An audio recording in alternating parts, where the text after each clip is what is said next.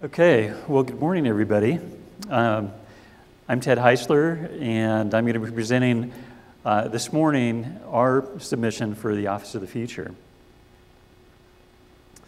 So, the future. Many times when we think about the future of the office, we may think of images like these here, kind of cold, sterile spaces that uh, might be something from a sci fi movie or something that you have, have uh, envisioned that would be a little more antiseptic than, than most of us would want to live in. But really, when we think about uh, the challenge here, the year 2020, it's really not that far off from where we are really today. One of the first questions we ask ourselves is, why do we go to the office? And I think that's been, uh, in many different ways, we've seen the question, why do we need to go to the office? And I think clearly in the last few years, we've found, especially with some of the technology companies that are out there, there's been more mandates. We need to go to the office for a healthy culture and connecting with others in our facilities. We have to have great office space. So we did a little research in preparing for this. Uh, periodicals, um, definitely different white papers, focus groups, workplace strategy blogs, and we decided one great idea would be to pull together a focus group specifically for what we're doing right now. So we pulled together thought leaders in what we do, also some people on the development side, furniture side, workplace strategists, and spent the better part of an afternoon talking about what is the future of the office and what are the hot buttons, especially for the corporate real estate executives that are looking at putting these on the map? What, what do they think is the most important? What we found in looking at the Office of the Future is really a growing connection to a healthy building solution for all employees. We found that flexibility is key and is going to be an important part of every office plan. That employee, employee engagement is more important than ever how do we design spaces that give people different types of places to work that they can do their best work? That um, uh, the community, sense of community in the workplace is an ever present need amongst all of us, and especially to that next generation of worker. That wellness in the, in the workplace is more and more important as we spend a majority of our day uh, at the office so when we look at a floor plan, we're talking, uh, we talked a lot about what our focus group said, but we came up with an idea of really different zones that would be appropriate for us to, to work in, in a, on a daily basis. So the first zone is the focus zone. And that zone is really where you do most of your heads down work. Uh, that would be uh, individual work that people would be looking at doing. The second zone is what we consider the quiet zone, much like a library with all the information that we all get on a daily basis with emails and voicemails and, and the uh, amount of information that we have to process, a quiet place where you could go contemplate and have uh, uh, some privacy. The collaborative zone is something that we see today, and it's going to be permeating more of the floor plans in the future, we think as that next generation of worker demands more collaboration, more innovative space.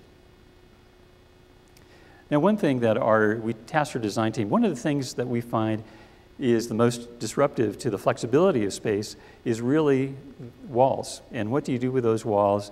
To create space, we all need that acoustical privacy of a private office or a conference room, but we need more flexibility as far as that's concerned.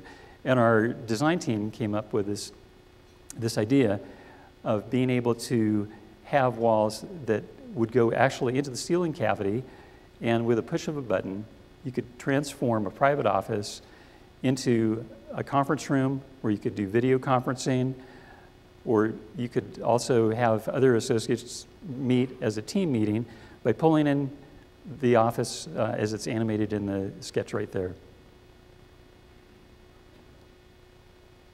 Flexible workstations means, also means different kinds of places that you could actually work.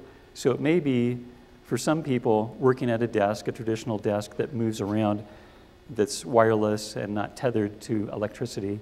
Or it may be a workstation where you're on a treadmill or bike and being able to do your work in that way.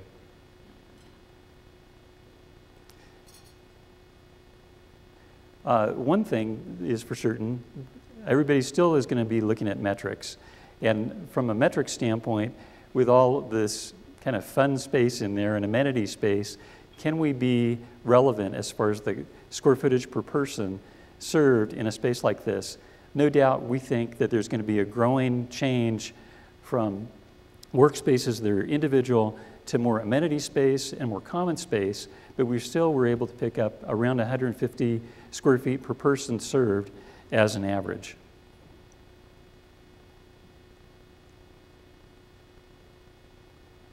So lighting and electrical will continue to shift as well.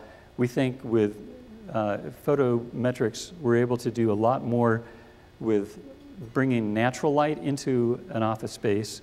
Also, as we challenged ourselves with our mechanical, electrical, and plumbing team, they came up with some solutions that I didn't realize existed today as well. From a standpoint of the electrical, there are uh, low voltage systems for ceiling grids that are available even today so that a facilities person, if they need to change uh, light fixtures around, they can do it without adding any conduits. The actual grid itself is electrified with low voltage, so anybody can do that. From a me mechanical standpoint, we're, th we're thinking also some of those traditional systems that were in place in the past are also going to be changing. Um, our mechanical engineer uh, told us, I didn't realize, that water can hold 300 times the energy as air. And so it's no secret that some of these water chilled systems, and these are called cold bar systems that are just at the beginning stages of being used today, will be much more prevalent in the future. These cold bar systems would be um, put throughout the space and give you a radiant heat and cooling solution that'll be significantly more uh, energy efficient than what we see today. Materials will continue to evolve as well, not only from a standpoint of textures and that sort of thing, but nanotechnology is taking off in a huge way. Uh, with nanotechnology, there's a lot of different things that can happen uh, that with these uh, fabrics and finishes. Some of them are self-cleaning, some of them have embedded LED technology, and we're just going to see more and more prevalence with nanotechnology in all that we do. So we've talked a lot about some of the factors and some of the finishes in a, new space, but how will those spaces look?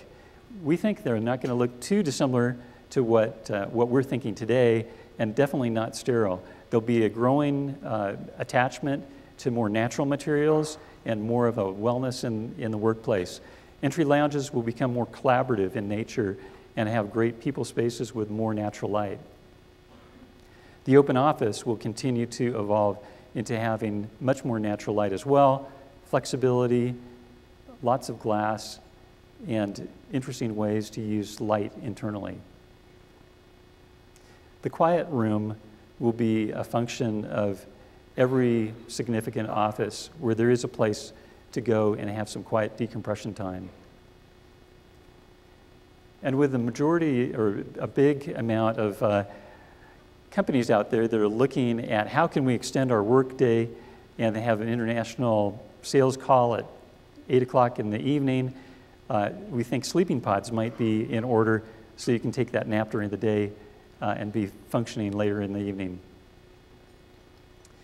And no place would be complete without an interactive area. So these interactive areas definitely would be the heart of most organizations.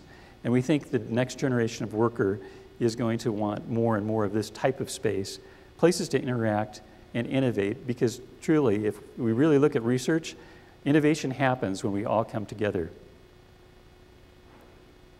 So a place, a workplace in the future, how much should that cost? Well, we tapped one of the leading uh, general contractors in Southern California, Turok, to help us conjure up what that might be. They came up with $119 a square foot. So maybe some of the best and brightest brokers out there could help us figure out how to get that into a turnkey deal. So back to the future. In 2020, we think that uh, there's going to be a lot of things that might be similar to what we're seeing today, but definitely advances in a lot of different ways. So we, with the future being as close as it is, we'd encourage you all to, to look closely, uh, to push your design teams to get those futuristic uh, situations pulled into the workplace today so we will have a better and brighter work environment in the future. Thank you very much.